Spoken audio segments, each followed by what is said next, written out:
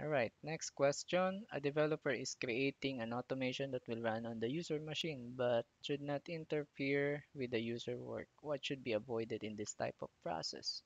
Well, hardware events will interfere with the user work, so the user should avoid it.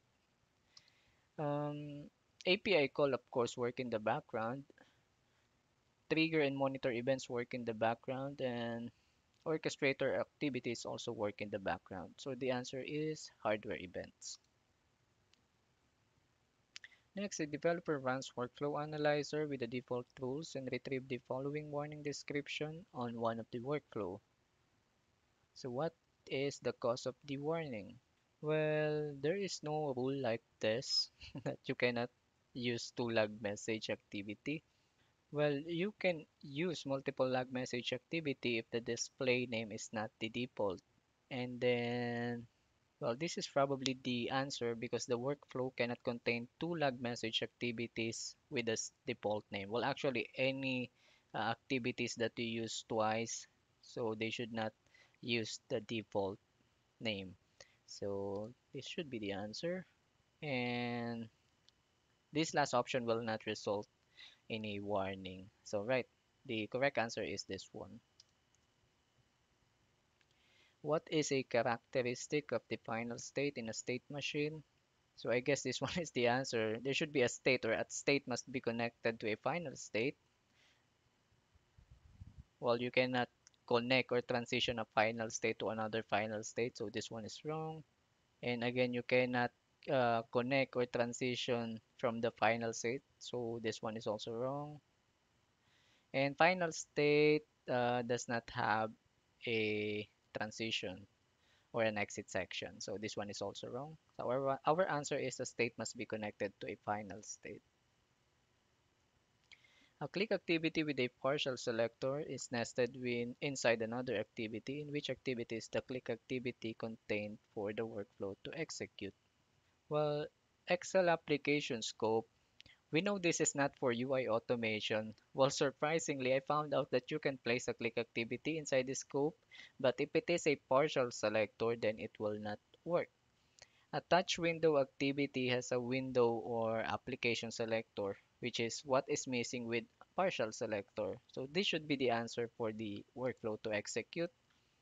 But pick branch, uh, you can nest a click, a click activity in a pick branch, but if the click selector is partial, it will probably not execute. And for defined element activity, you cannot nest a click activity in this type of activity, so this option is wrong. All right, the answer is attach window.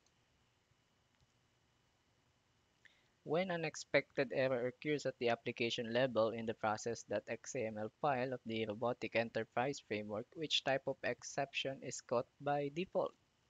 Well, in the UiPath, there are two main exceptions, the the system exception and the business rule exception. The developer set the business rule exception and errors related to applications are considered system exception.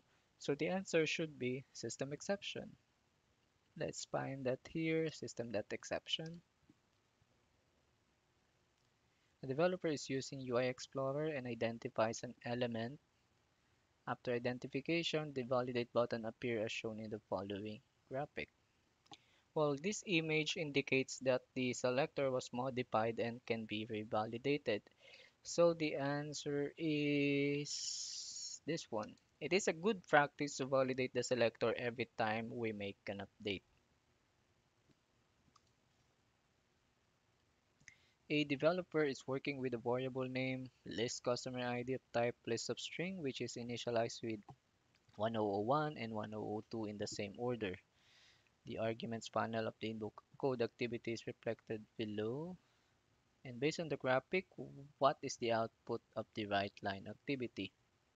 Well, here I copy the workflow, so let's run to test to see what will be the output. And here we can see that the answer is 1003, then 1002, and then 1001. And the reverse function causes the order in the output panel.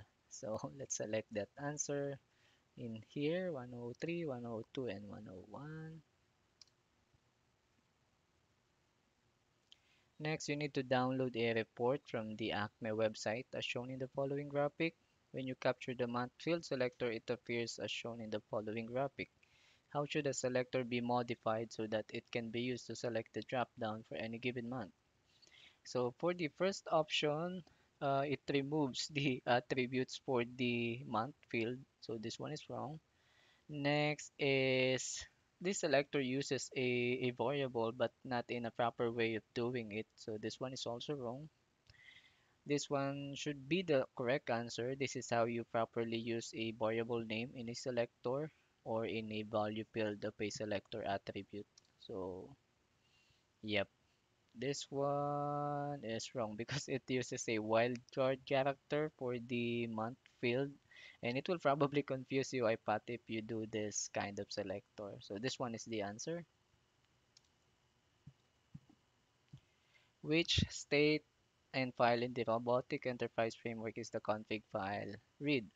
That should be the initialization and the init all setting. But let's check in UiPath to prove that. So here, the initialization state, and then here you will see this init all setting. If you open that, you will see that this is the part where UiPath 3D configuration file. You can also verify that here because in the import argument, you can see here that this are this workflow outputs the configuration values and uh, pass it to the config global scope variable. So that is our answer, initialization and init all setting. Review the following graphic. Uh, based on the graphic, logs of which level will be sent to orchestrator during the process execution. So the selected log level is information, so this will be information and above. If that is trace, then that will be trace and above. But since again the selected uh, log level is information, the answer will be information and above. There is no log level like information only. And right,